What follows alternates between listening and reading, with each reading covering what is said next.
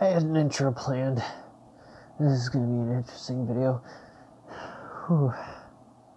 Well.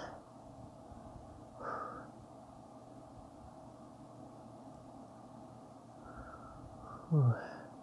Well, well now. Welcome to the real world. Okay, this is not going to work out so well for that. Let's put those away. Whew. I'm reviewing The Matrix. One of the greatest sci fi kung fu movies. It's incredible. Absolutely incredible. Outstanding.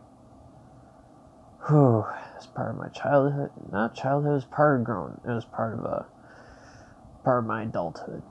I'll say. Part of my adulthood. And favorite scene will always be the lobby shootout. It is epic. Damn. So epic. It's crazy. You got Spybreak playing in the background. It's like, hell fucking yeah, man. Hell yeah. Oh, hell yeah. Anyway, the story is very good. Very excellent. Always will be. You just you can't beat it. I have 30 milligrams of edibles in my system. I'm going to have an insane night. Whew. Yep, I'm gonna be real floaty in a second. Oh boy. Oh boy. Oh boy.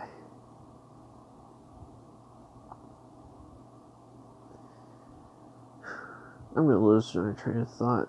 I'm gonna lose it. So anyway, via the Matrix story gets 10 out of 10. Action, it had some unrealistic fight, it had some unrealistic martial arts techniques, some realistic, so I'm going to give that an 8 out of 10. Now, the firearm action, yeah, that's a 20 out of 10. That's insane shit. Um, special effects, 11 out of 10. Excellent. They revolutionized and basically made bullet time, which was cool. It's a cool effect.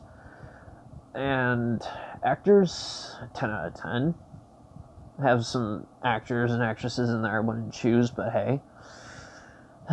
Some of them like would not fit the role so well and they were cast wrong, that's all I'm saying.